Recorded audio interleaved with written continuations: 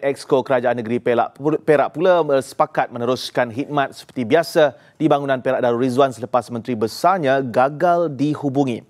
Menurut Exco Komunikasi Multimedia dan NGO Perak Hasnul Zulkarnain Abdul Munaim, pihaknya setakat ini belum menerima apa-apa perkembangan terbaru daripada Datuk Seri Ahmad Faizal Azumu mengenai pentadbiran negeri.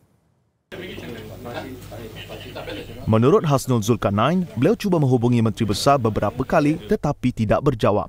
Kali terakhir Datuk Seri Ahmad Faizal bertemu dengannya adalah di Ibu Negara pada 25 Februari lalu selepas beliau membuat kenyataan kekal bertugas sebagai Menteri Besar dengan sokongan majoriti ADUN.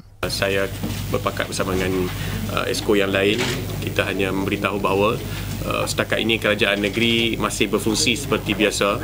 Uh, kita menunggu juga uh, uh, uh, arahan terbaru ataupun khabar daripada uh, istana uh, Perak uh, setakat ini belum ada lagi info secara rasminya Beliau berkata demikian dalam sidang media bersama lima exco yang lain iaitu Datuk Seri Muhammad Nizar Jamaluddin, A.C. Vanessa, Howard Lee, Wong Mei Ing dan Tan Kar Hing.